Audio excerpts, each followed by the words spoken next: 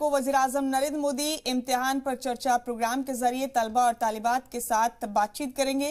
तलबा और तालिबात के साथ इम्तिहान पर चर्चा करेंगे वज़ीर अजम मोदी।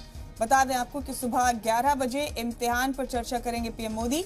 बोर्ड इम्तिहान दे रहे बच्चों से बातचीत करेंगे पीएम मोदी। इससे पहले भी वज़ीर आज़म इस तरह के प्रोग्राम कर चुके तो आज सुबह 11 बजे इम्तिहान पर चर्चा करेंगे पीएम मोदी और इस गुफ्तगु के दौरान बोर्ड इम्तिहान देने वाले तलबा और तालिबात से बातचीत करेंगे। इस पूरे सेशन के दौरान तलबा और तालिबात वज़ीर आज़म से 20 सवाल पूछेंगे। उनके जवाब वज़ीर आज़म की जानब से दिए जाएँगे।